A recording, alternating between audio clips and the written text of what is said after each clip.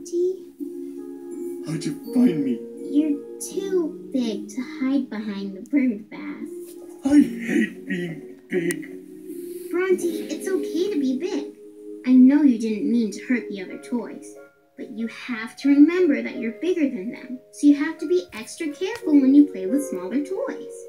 It's just like I have to be careful when I'm playing with my little brother Donnie. You have to be careful too? Really. People and toys come in You're bigger. That's who you are, and that's great. You just can't play so rough.